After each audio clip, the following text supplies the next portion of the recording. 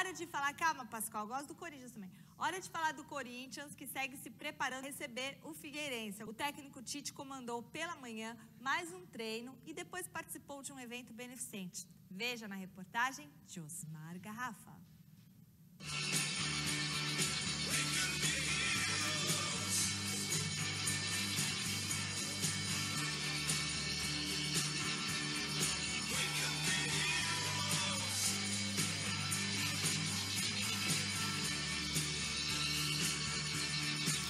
Hoje foi um dia diferente para o técnico do Timão. Pela manhã, tudo normal, mas ao terminar o treinamento, Tite não concedeu entrevista como de costume, pois foi participar de uma ação social promovida pela diretoria do clube, onde o técnico corintiano foi portador de doar enxoval a recém-nascidos numa maternidade pública na zona leste da cidade. A minha posição de técnico, ela transcende um pouquinho.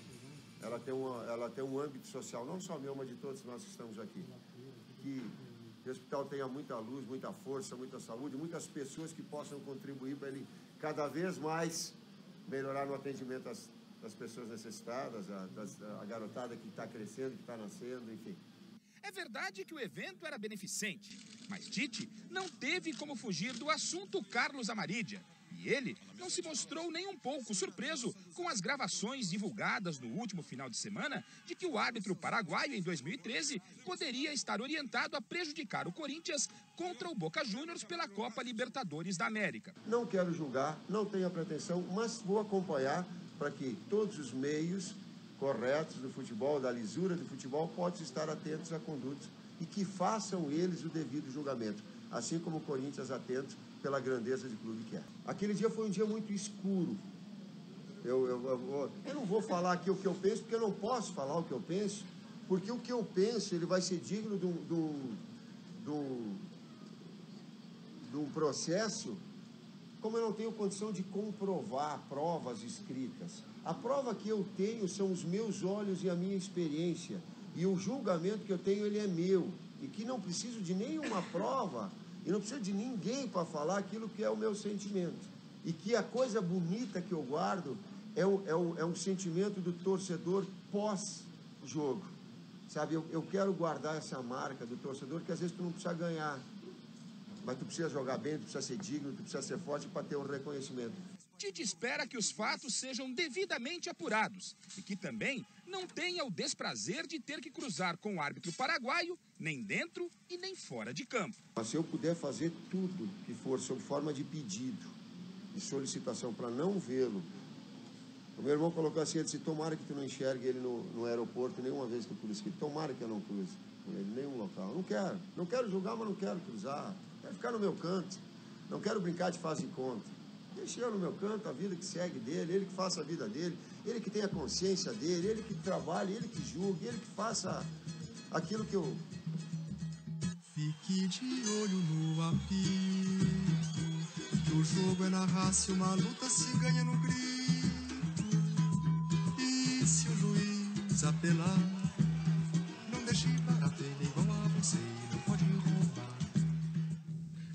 Celso Cardoso, Corinthians Chega. tem que levar essa denúncia a sério, é grave, tem gravações, tem comprovações da polícia argentina. Se você mexer nisso aí, tem muito mais coisa lá para dentro.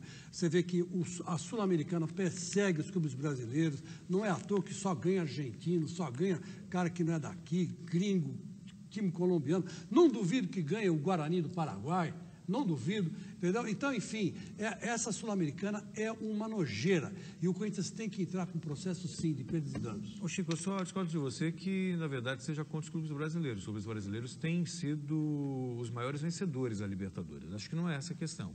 A questão é que existe aí uma, uma, uma, um fato, é pontual, houve uma indicação, uma ingerência para que esse árbitro fosse escalado. Esse árbitro foi escalado e cometeu erros assim absurdos isso deve ser investigado. Ele diz que ele errou, mas a suspeita existe, tem que ser você investigado. Sabe o que, que ele falou? Cobraram dele, eu, Marília, o que você fez? Não, onde eu não fiz nada.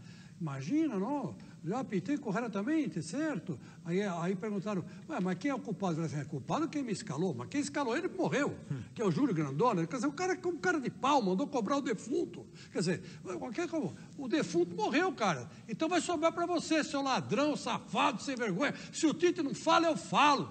Esse ladrão, safado, sem vergonha, devia ser preso se pisasse no Brasil.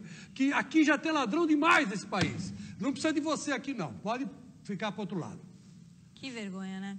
Nesta manhã, o meio-campo Petrus desembarcou em Sevilha, na Espanha, para assinar o contrato com o Betis. O jogador realizou exames médicos e deve fechar por quatro temporadas com o clube espanhol amanhã. Segundo o jornal Marca da Espanha, o Betis pagou, cerca de um milhão e